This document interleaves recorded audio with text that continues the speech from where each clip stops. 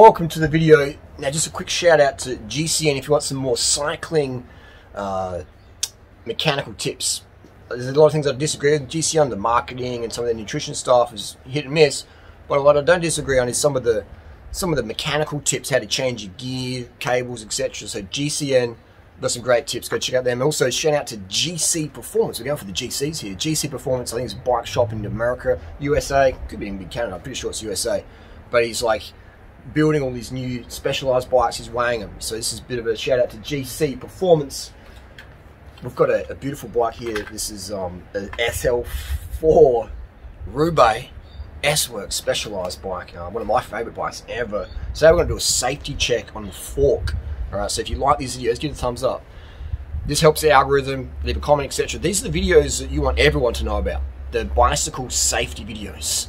You don't want to be in a bunch when someone's fork steer snaps because they had spaces, too many spaces above, or this fork plug was deep enough for us. So this video here is very important. Give it a thumbs up if you like important safety videos. First of all, we're going to do a GC performance style. We're going to weigh the bike. Uh, I like how he weighs all the bikes he works on. It's good for us OCD. So we've got zeroed here, the bike scales. We're going to weigh this SL4. It's, you know, it's a pretty, it's got no pedals on there. It's got a bottle cage. It's a pretty stock spec. We can make it bling. Um, going to put this scale on here. Make sure it doesn't hit me in the face. Some of you like, I hope it hits him in the face. And we're to go, wait for the beep. All right, this is the weight of the bike, SL4 Tarmac, Roubaix rather, SRAM Red Gen 2, 6.6 kilos. What's that in pounds? Let me know down below. 6.6 um, kilos, no pedals. And it's got a cage on it and a mount. Now, comparison's sake, we've got to do it. It wouldn't be a Rider video if we didn't harp on about a disc brake bike. Come on, over here. We've got the SL7 tarmac, no pedals, no cage, no mount. We'll tar this, uh, tear this. Um, but yeah, just for comparison's sake, because people might ask in the comment section, how much does the SL7 weigh Rider for the eighth time? I love these videos, and I love my audience that people keep coming back to learn more. I basically just make the videos that I would have liked to have learned back in the day uh, when I was first getting into cycling. Alright, so that's no pedals, no cage, no mount. Dura-Ace 7.14, so it's you know over 500 grams heavier than a bike from 10 years ago, pretty much. The new bike's a lot heavier because of disc brakes. Anyway, let's get into the video what you're here for. Uh, let's put the scales down. Let's pick up the torque wrenches. Torque wrenches are good, uh, especially if you're working, if you're new to working on bikes. Get yourself a torque wrench. Just these are ones here, Ritchey, Bontrager, just they're cheapo and they still work great. To give you an idea of what you should be torquing on, we use a tree here. How amazing that is! A tree is exact height that I want. Make sure it's in there perfect, and we're going to drop this fork out first. We're going to we can leave the front wheel in, um, just in case the fork did drop out for some reason. It's not going to damage it. So when you're working on carbon stuff, you always want to um, be careful what you're doing. You know? So I'm just using a multi-tool here. You know, in a workshop, you're using the proper tools, but this is just to let you know how simple this job really is. So first of all, we're going to move the front brake um, so we can drop the fork out fully and give the fork a full inspection. We're also going to re-grease the headset here, uh, which is important to do because headset bearings can last a very, very long time if you're riding in wet weather and grit. It's a good idea to drop your fork out every few months just to re-grease your headset. Now, if you've got one of these newfangled bikes, the Canyons or the SL7 or the the Venge, these proprietary sort of fork disc brake stuff, it can be a bit of a pain in the rump to drop your fork out because all the cables run through the steerer and you have to basically re-bleed your fork. It's just a nightmare for mechanics. It's a nightmare for mechanics, really. Um, and I think bikes, the beauty of cycling is it's, it's a pretty easy job to do, you know. Make sure you don't lose this, lose this little thing. This goes on the end of your end of your brake nozzle thing. So we'll put that over here. We'll lose it later on. Forget where we put it. We're also going to now, second step is we're going to undo the two, these bolts here. You'll have one or two bolts. Ideally, you've got two bolts on your stem. You've got a three T design with just one bolt. Let's hope that bolt doesn't fail on you because that's the only one holding your, holding your stem on your fork there. Yeah. We just racked up a few lines of Nullarbor white, so excuse the, uh, the off-tangent discussions here. We've got a three, uh, 360 camera coming this week. Uh, so shout out to Cycling Maven, Mark Ferguson, for hooking us up with that uh, setup there. Gave me a uh, gave me a lead So 360 camera, I'm excited to get one.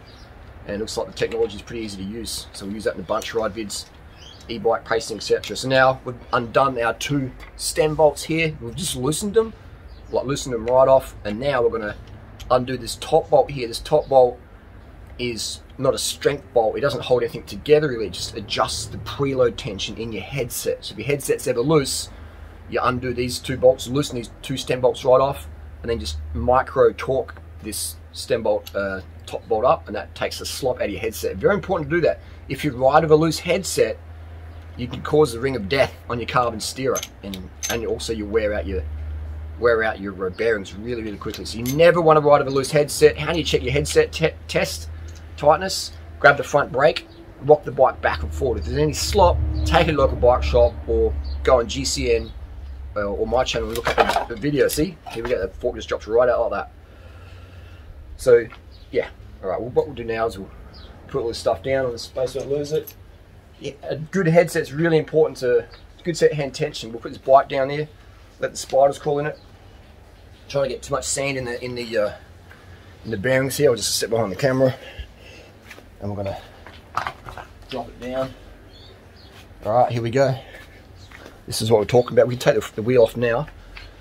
This is a, I do have a license for these guns, by the way, in case anyone's to bring SAPOL and say there's a unlicensed, some unlicensed uh, guns in Beulah Park, from Magill Road there. You have, you have a license for these. And okay, so this is the fork. We've dropped it out, and this has been recently re-greased. We're going to get a rag here to clean off all the all the grit. Looking on the floor for the rag. This is a professional workshop. Let me just pause the camera. We'll go find one. We, we're back. this just goes to show you, like, I've been a YouTuber for, you know, for 12 years now, professional YouTuber. You don't need to be organized. You just need to do it. You need to turn up and give your best. All right? Too many people uh, try to be too perfect on YouTube, etc., and they just paralyze their successes. So we're looking in here. You can can't really see too well, but there's no ring of death. You can sort of see a bit of a, a ring around there. That's just the bearing, but there's no etching on this fork. There's no cracks running down it or across it. So this fork, uh, in my unprofessional opinion, is in fantastic condition, safe condition. What I'm going to do now is also going to take off this bottom bearing here. You can sort of see the grit on that. Look at that. See a bit of grit there? That can just wear things out. So that darkness there, the, the dirt. All right. So we're going to clean that off. We're going to re-grease it as well. Um, let me just uh, put this down. So we're going to clean your bearing and you're going to put it all back together. Make sure that you put your bearings in the right way. All right. Make sure you do that. All right. So when you before you take everything off, don't take off in a rush. Don't be hungry. Don't be thirsty. Have some food. Have some water. Take your time with the stuff. Take photos even if you're not sure which way it goes, and make sure that you put the bottom bearing in the right way, and you put the top bearing in the top versus vice versa, and mix it around. Because often people pretty think, ah, my headset's all notches because you've got the bearings in the wrong way around. Put this down over here, and then we're gonna give it a full wipe down. I'm just gonna pause this camera again, put this tripod a bit high because I'm getting hunched back and not your damn down here. There's a good looking guy on the camera. Doing right. You gotta troll yourself. If you can't troll yourself, when people troll you, you'll crack. You'll crack. Um, so yeah, this is this is what we call a proprietary fork, meaning if you ever did have get, need to get a new replacement fork for a specialized bike, you're a bit locked into their ecosystem. Um, you know, chances are of this fork having an issue is very, very slim, but crashes happen. So this is this is where I, I have an issue with Specialized. Uh, they do sell some fantastic stuff, but proprietary forks like this, you know, let me know down below if, if, if, if any fork, any tapered fork of the same diameters will fit an SL4 Roubaix. Yeah, I'm, I'm assuming it's not going to. So that's my issue is the bikes I sell on my website, durianrider.com, we, we stay away from proprietary forks. We have standard forks that you can get easy replacement for. So we've cleaned that down, we've inspected the outside, it looks fantastic. But now we're going to take out this plug here and we're going to check for any inside cracks, delaminations, fibers drying out, etc. And then we can repair or replace depending on the setup here. So this bolt's pretty loose. Alright, these specialized plugs can be a little bit of pain in the bum to take out. Alright, I do recommend that your plug goes deep enough that it goes below your lower stem bolt. Right? Otherwise, it's going to get crushed, and you're going to have a fork steer failure down the track. That's why with second-hand bikes, you need to drop the fork out, or they need to drop it out for you because you're like, how? Ask them, how do I know this fork doesn't have a crack in it? And it's like, oh, just hasn't cracked on me. It's like, that's great, mate. It hasn't cracked on you, but how do I know it's not going to crack on me? How do I know this fork has integrity still? Any good bike seller worth their a sale will drop the fork out and show you. Then maybe they're not mechanically minded. Okay, get them to take to a bike shop, provide photographic proof that the fork's okay. I mean, that's what I do all the bikes I sell, is I strip them down and give them a full-on safety check. Why would I sell something that I wouldn't ride? So that's a little thing here. Now these specialized plugs are a little bit, you know, so-so. But if you're a heavy rider over 100 kilos or something, you're probably better for a better plug. So there's more of a weight when you plug. We're just gonna have to knock this one out. We'll pause this. Specialized plugs. Bit hard to get in and out. So to remove the specialized plug, I learned this tip from Rich from Bike Detail Tech. All right, this is your specialized plug. I'll show you exactly how it works. Um, this is the plug all right so it goes in like that and it, it, it's okay it's long enough if you don't run spaces on top but you want to make sure that you know this goes beyond your lowest stem bolt or you're going to crack your steerer. I'll show you exactly what I mean. I shouldn't say specialized make it specialized buy it and then spec on their bikes. All right so this is satisfactory. Can you sort of see here what I mean? I've done many videos on this. All right so the top of the fork we're going to probably go about a few mil above and then it's going to go. So this is this is satisfactory. This is why if you see someone with more than five mil spaces on their stem, you should say, hey, that's a carbon steerer. Your plug should go a lot deeper than that. Otherwise, you're gonna you're gonna cause a failure in your steerer over time, whether it's for you or the next person who rides your bike. You don't want a fork steerer failing, no matter what material. All right, so that's that done. So to remove this specialized plug, again, just even have a YouTube Google because not many of you got these ones. But yeah, Rich from, uh, I'll try and link it down below, how to remove these ones. They basically got to pull off this little black thing and then going down to ground level. We're getting on the ground here. I love just putting things in the ground and just spending, taking your time, right? You never want to rush this stuff. This is very important safety stuff. You know, this is, yeah, these are the plugs that I like to use. Um, you always want to take your time uh, with these things. This is how you properly maintain your bike. Right? This is meditation for me. Yeah, just really, really good way to do things. This is your stock standard plug, and this is the deeper plug. This is what I recommend if you want to run spaces above your above your uh, your stem on a carbon steerer. Alloy steerer doesn't matter because alloy steerers aren't as susceptible to crushing forces like carbon is. So these, you know, the air these are very, very strong. They don't like being crushed. So the plug acts as a support for the crushing forces of the stem bolts. Right? When you do these stem bolts up, you are crushing it. All right. So when you have the plug in there, it, you know, it makes it's like a brace of support. Now, if you're, you know, if you're crushed down here, there's nothing supporting that. But if your plug keeps going down, then you're okay. All right. So you've got to make sure that plug goes here we go, this is a great way to see it. You know what I mean? Look at that. Now it's supported. It's supported. Now let's say I've got all these spaces above. Now it's not supported. And then we'll tighten this one up. Crack, crack, crack. Snap, pap, snap, crack, crackle, pap down the track. All right, so it doesn't happen straight away, but over time with a few bumps, a bit of races, a bit of crashing, a bit of sprinting, it can cause a total uh, steerer failure. Especially that's what I like D-shaped steerers like BMC, I think Cervelo are doing a D, a D shape, Factor doing D shape, and the failures. I'm just not a fan of that. I'm not a fan of carbon forks failing. So yeah, that's how that's how it's run there. Uh, this is a specialized design. It's a pretty lightweight little plug. It's satisfactory if you don't run more than five mil spaces above your stem. Otherwise, if you're going to run more than five mil spaces, this is a dangerous plug to use. This is inadequate. You want to run something like this. It's a bit heavier, but it's going to be a lot safer, right? It's better to add 30 grams to your bike than a 30 grand hospital bill or worse. So right, so let's turn the flashlight on and have a look inside this fork steer. And the flash on, and we can sort of see in here, it looks pretty good, doesn't it? Like down the bottom you see the, the bag and stuff like that. But up close there's no, you know, there's no fracturing there, there's, there's, there's a couple of voids we can sort of see, but that's not too bad, you know. Hands are shaking from nullarbor white kicking in. But otherwise it looks pretty good, you know. It looks pretty good otherwise. You know, nothing inside there it looks too dodgy. There's no fibers flaking out. It all looks pretty hunky-dory, you know? And that just, for me, it just adds a lot of safety when I'm riding along, a bit of certainty there that this fork is is not going to fail on me, right? Now I'll show you what a dodgy fork looks like. So you can see this fork here, I mean, there's dirt, there's earwigs in there, but you can sort of see the carbon fiber fibers. You can see them sort of splintering out there. So that's that's just a really dodgy fork. This is a brand new fork as well. I won't mention the brand because maybe they've improved since then, but it's just really, it doesn't look safe to me at all. Maybe it's totally going to be totally fine on for a lightweight rider. Maybe it will never have a problem, or maybe it will fail on the first big bump. We don't know. But that's a dodgy looking carbon steerer on a brand new fork from quite a reputable brand online. But I won't mention it because it wouldn't be fair for me if they have improved their quality control. Other uh, very famous brand of fork here, and you can sort of see this is what's called the Ring of Death. Here we go, zoom it in. All right, so now this isn't due to the manufacturing quality of the bike, this is due to the rider not properly maintaining the headset tension, in my opinion. And you can sort of see that the split ring there has etched into the fork. Now this is quite a, a strong, probably giving away the manufacturing now. That's a quite a thick fork, so it's not going to fail like a, a, skinny fork would, as, as, it eventually could though. You know, probably unlikely because this brand of fork's quite thick.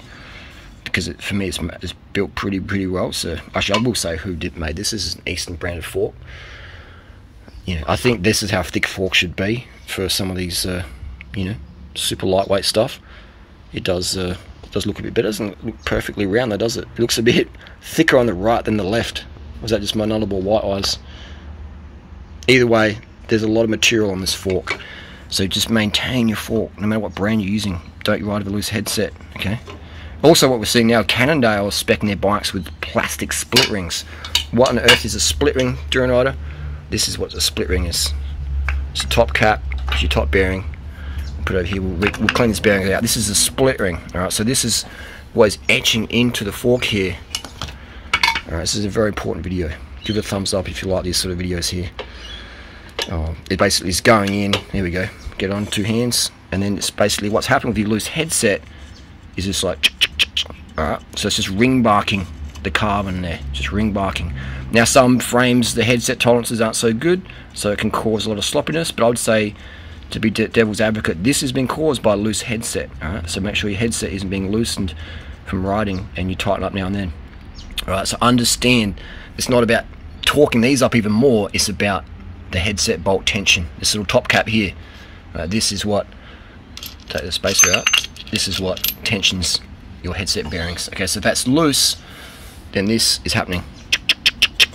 Now, again, before you start going, all right, just wrenching that right up. No, no, no. You, this is this is minute, a very minute adjustment. It's a preload preload bolt. It's not a tension bolt. It's very light preload. Okay, it's not a security bolt. It's a preload bolt. So very small adjustments are required to take out the the nanometers of slack there. Okay, so that's that's what's causing the ring of death. okay, all right make sure you, you, spec your bike every few months for Ring of Deaths. Don't ride with a loose headset. Understand this is very simple stuff. I'm not an academic guy. I'm a very basic person. I can understand this, and if I can, anyone can. Okay, this is not even IQ points. This is just common sense. Loose stuff, it's going to wear it out, isn't it? It's going to wear it out. It could happen with an alloy steerer down the track as well, but carbon's just a bit softer. Carbon's just a bit softer.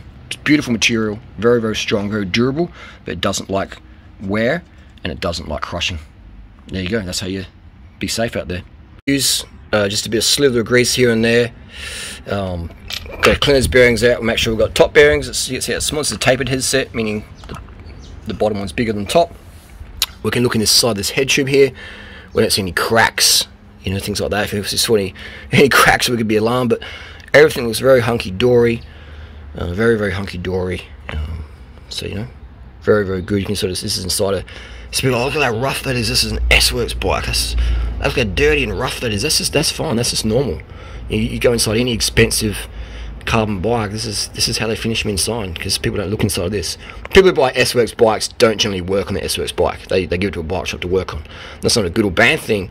I'm not dissing. I'm just saying that's you know that's just that's just how it is. People generally buy S-Works because of the the clout, the the one with floss, etc., which is fine. But yeah, this is what's inside your your S-Works bikes pretty much any high price bike. what we're going to do is we're going to clean out all this dirt here, all that grit. That, your bicycle is like a relationship, having a relationship with it. Spend that bit of time, bit of care, and just you know, things will last a lot longer. And so we just clean it out, and things just last a lot longer. Clean out that sand. Sand is friction. Friction is wear. Wear is fatigue. Fatigue is failure. Thanks for that quote, Jade. Bearings last, they last a long time. If you clean them out like this, they last a long time. And they've got different angles, so 45, 45, inch and a quarter. You got different types, you've got inch and eighth, you know, 45, 36, you've got all different types. So make sure if you do get a, a replacement headset that's appropriate, uh, there's a lot of different types, and that can be quite a frustrating experience trying to get a new one. Um, finding out which one's for you, but this is still got heaps of play left, uh, so life left. There's no play there because we look after it. We look after it. We, we grease it. We try and clean out all the grit here and there, and it's going to last a long time. We're going to put a sliver of this white lightning crystal greaser like this because it's biodegradable, non-toxic, it's carbon friendly, and I do this every few months, especially after riding in the wet. Use not a great deal, but cover those, cover the little sleeves there, front and top, top and bottom, and then we're going to drop it in. You can drop it on your fork, but make sure you put it the right way, so the, the concave bit on your fork, and then push it in so it's nice and even in there as well. Make sure it's nice and even. Generally, you're going to use two hands for this when we're filming it. But yeah, take your time. Take your time. Beautiful. We've got that pressed in just perfect. Look at that. Nice, clean, greased headset. It's going to be perfect to ride. Beautiful. Beautiful. Put a bit of, bit of grease on this on this fork here. And uh, good to go. Just a bit of a clean down with the rag. It's like a light little bit of grease in there just to prevent the galvanic corrosion. Whatever Luescher Teknik calls it. He's got also got a great channel. Check him out, Luescher Teknik. So yeah, just give us a bit of clean. This, is maintenance. It's just having a healthy relationship with your bike, an intimate relationship. It enhances how we do anything is how we do everything. Tightening up this bolt here, make sure you do it up to recommended torque. All the broiler pussies coming and have a little say good day. I'm gonna show you this little anus. Oh yeah, that's what she thinks of my that's what she thinks of my videos. Alright, so you know you want to put a bit of a torque wrench uh, or torque setting understand what that would feel like in here. So I'll, put, I'll do about 7 newton meters into that, and that way it doesn't bulge out too much. Split ring, again, a bit of sand gets in there, so it's good to take it out, clean it now and then. I think these should be made out of plastic from today onwards, and you can probably replace it with a plastic one. But yeah, just keep it headset properly tensioned, and I shouldn't say keep your headset tight, just keep your headset adequately tensioned, and keep this split ring clean. There you go. Also, this fork here is this for landfill. No, no, no. All you have to do is just cut it below that line, and it's a perfectly good fork. There you go. A nine-year-old bike, and it looks brand new, properly maintained. Properly maintained. That's what we're talking about. Beautiful. Lies and other brands could be notorious for is those sharp edges.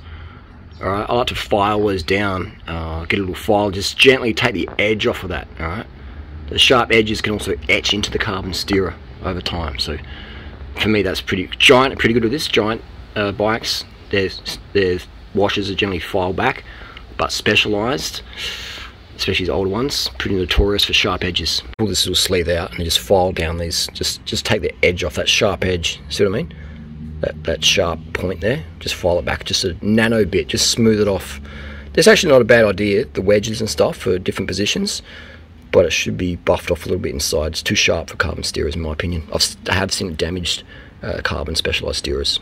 Round file there, just round got the round file, just ran it through it. You can sort of see now, it's just taken off.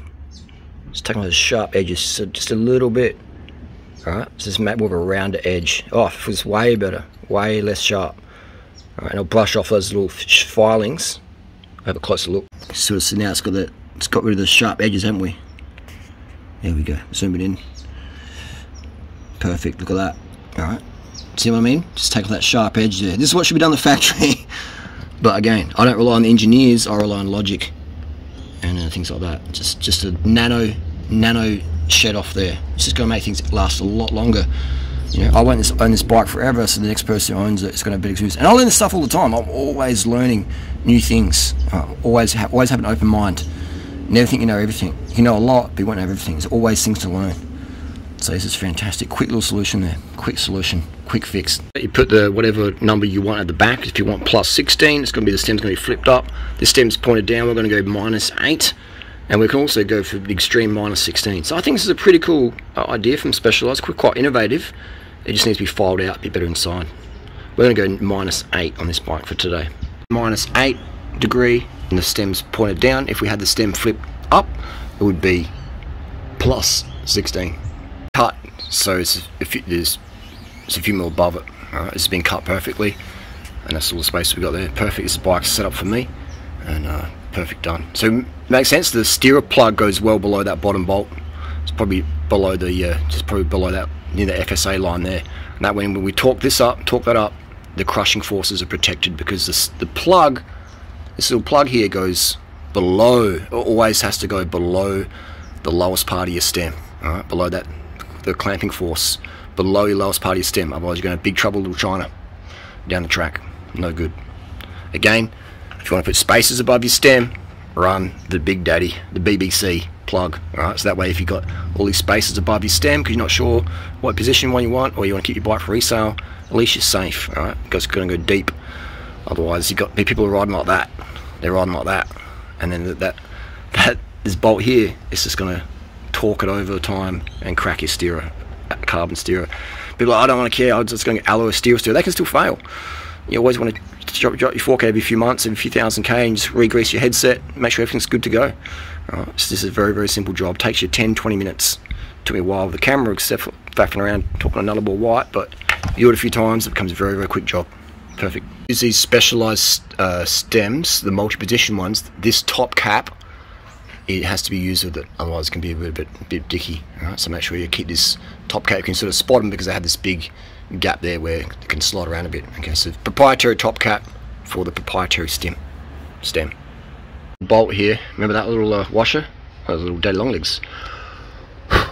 It's on the fingernail there. Uh, dead long legs skin. It's a spider skin. They shed their skin. Pretty crazy, yeah. This grease here, wipe that off it attracts dirt and this little bad boy goes on here make sure you don't lose that because it does help make your, your brake pivot properly. These Gen 2 SRAM brakes not a big fan of they can wobble around a bit prefer the Gen 1s about the same weight. And that's all we have to do now. Now we'll check the headset tension torque up the uh, bolts take it for a ride we're good to go. We're going to make sure the, uh, the headset tension is good. We'll straighten those bars up. We're going to grab the front brake. In Australia we have the front brake over here not touching the rear brake and we're just going to rock it back and forward. And there's a little bit of play, so we're just going to tension it up here. Just, just look at that, just a little tiny bit. Grab the front brake, rock it back and forward. There's no play. So just that you know, 16th of a turn.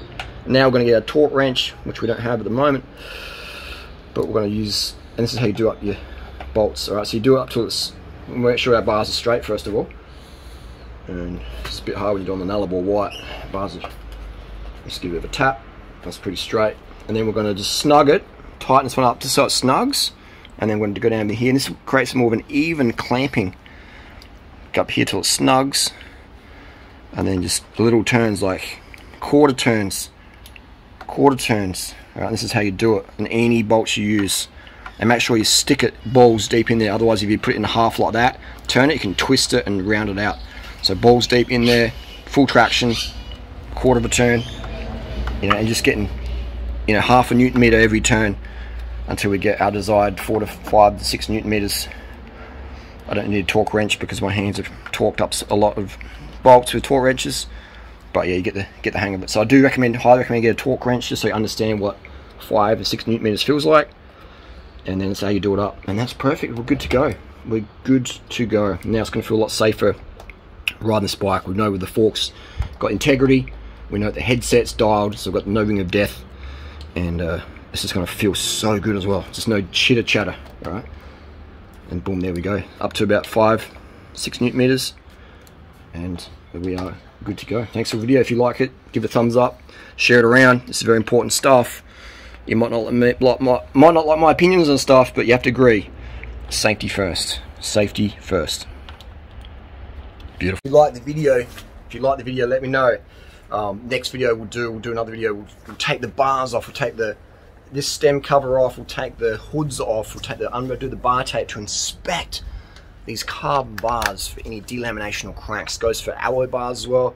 You saw my Instagram post recently where I posted a picture of an alloy bar where it had holes in it from the sweat, the protein sweat, the ammonia eroding the alloy. So take the bar tape off and that's another five, 10 minute job there just for safety. All right? And your bike just feels so much better and safety in your head. If you want more information, go visit durianrider.com. We've got an ebook out there on cycling tips. It's called Duran Lean Body Bible. Hundreds of tips in there. It's going to save you thousands of dollars, literally. Save you a lot of heartache, a lot of time wasted, etc. I mean, money, you can make money back, but time you lost, time you wasted, you can't get it back. So my goal is to give the tips to save people time, not just money. Save your time, save your health, increase your performance at minimal effort. Just logical stuff that you might overlook because it's not mainstream. Anyway, I'll see you there. Durianrider.com. Thanks for watching.